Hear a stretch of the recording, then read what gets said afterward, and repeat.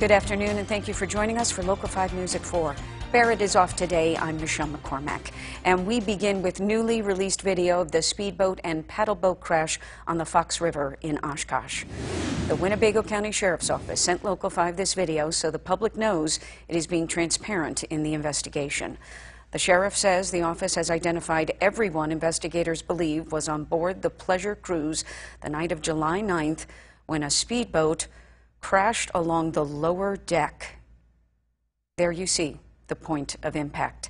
At last report, 15 people were injured. Businessman Jason Lindeman is charged in connection with the crash.